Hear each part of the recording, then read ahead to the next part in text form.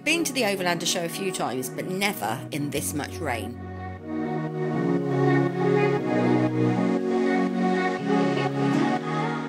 Ricky was not pleased as he just spent hours and hours getting the van all nice and clean. Go on! Give us some bins! We had as many concerns about getting the van on the pitch as we did off it, even though we knew we could get a tow. Hey! Rianne from What's Occurring parked us up in the YouTube area. Right, that's us now because those back wheels are bleep. They better be fucking dirty on. I don't know if you can come forward anymore, but.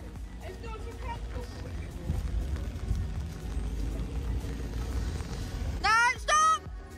That's fine. I just want to see his wheels get Yeah, dirty. that's it now. We're back. Yeah, wheels are dirty.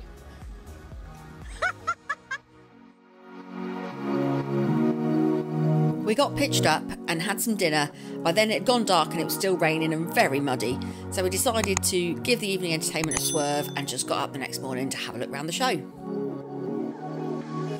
Before that, however, I had a very important mission to complete. Now, I'd promised Freddie that I'd keep my eyes peeled for the prime drink that's all the rage with the youngsters these days, and I'd managed, luckily enough, to find three in a Sainsbury's store. So, look at that face, you literally can't beat it. Little boy made very, very happy. Bless him.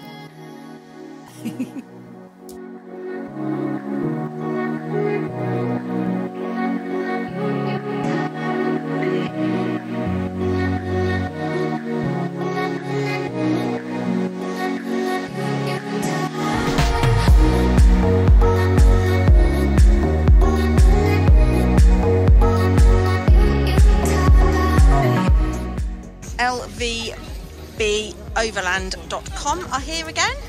They're lovely people. I think we need to buy an overland vehicle just to get us out of here. We need to buy an overland vehicle while we're here to get us out. get back to your own Yeah. You'd like to think that these vehicles wouldn't be getting stuck in the mud, but apparently some of them have.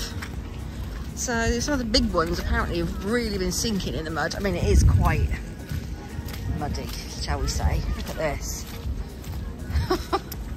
you can't even really get the depth of those tracks, but You know what I find quite funny though? what? So you got vehicles like this getting stuck. Yeah. I just saw some geezer on a mobility scooter. he was flying, not so much as a wheel spin in sight. True, actually. So if you're looking to go off-roading, get yourself a mobility scooter. That's where it's at. Absolutely. Look at that Bobby Dazzler.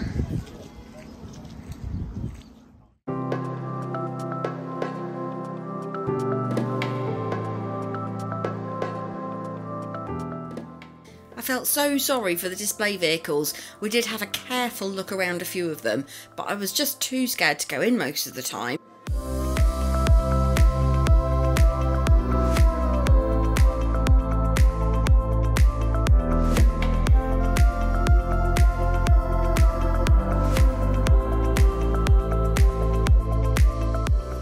Just to give you a flavour of uh, the mud. Some mud flick. So this overlander's having a little bit of trouble.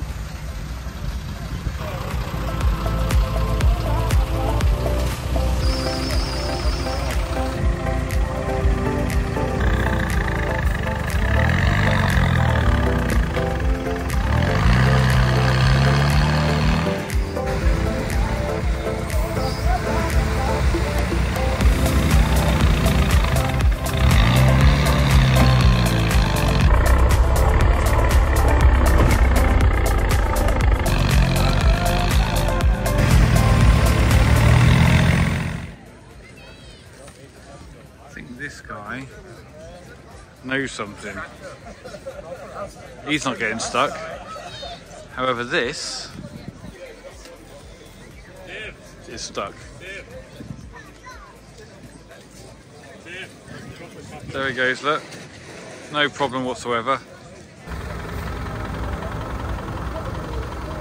With the rescue vehicle out of action, find out If this man manages to pull the Overlander out of the mud with his bare hands by heading over after this vlog and watching the Overlander stuck in the mud live that I recorded on location. Now back to the show. Since Ricky got his HGV licence last year, he's been obsessed with the need to upgrade our van yet again. He wants a lorry or an American RV. I say no. What do you think? Now, you can't camp at Stratford without going into town. It's packed full of history, there's Shakespeare everywhere, and lots of very British sights to be seen. I've never seen that anywhere else in the world. Have you?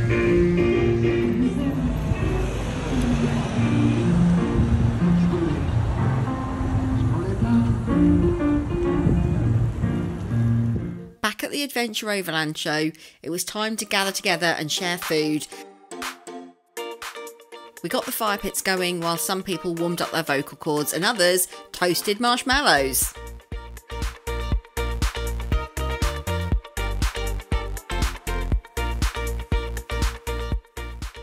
As darkness fell, the karaoke became more serious.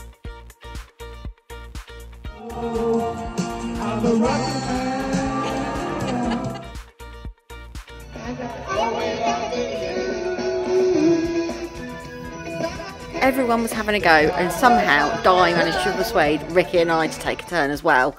This is the first time we have ever done karaoke. I think you can probably tell. Here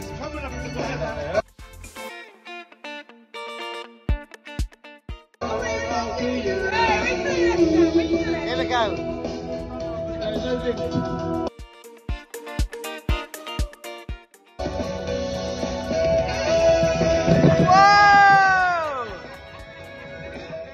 Totally unplanned, we were totally unprepared. But, you know, Ricky's back problems only lasted for a couple of days, so I think the lift went really well. Very like the real thing.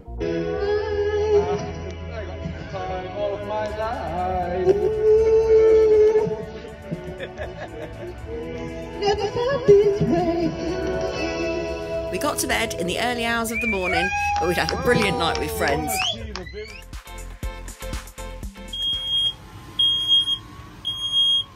So it's uh, Sunday morning, and Ricky's cooking breakfast, and you've just missed the uh, special noise there. We now know what the smoke alarm sounds like. I blame the creator of TikTok. Oh, did you get distracted? Yeah. Ricky got distracted whilst making the breakfast. Oh dear, look at that. That's right, though, look at that. Oh, Yeah, that's a good one. Right, Oh. feed me now. right, get, get ready. The ground is still rather damp underfoot, but we had a bit of rain last night. But I'm hoping that we're all going to make manage to get get uh, off the grass tonight or tomorrow when everyone's going home. So we've uh, had a nice breakfast, and I'm going to have another look around the show and just catch up with a few people before um, everyone starts to go home. I've lived this day so many times, I know everybody's name. And each day is still so.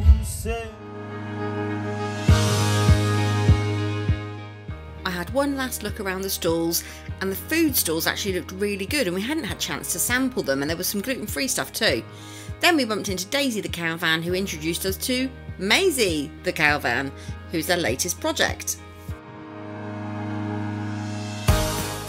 Then it was time to make our way back to the van and get out of the mud. Right, we're attempting to leave. Can we? We can't move. We're stuck.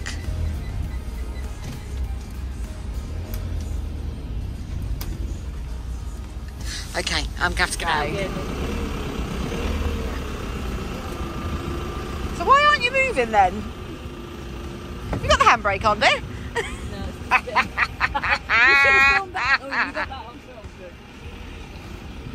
Even when Ricky took the handbrake off, we still needed the help of our friend Carl.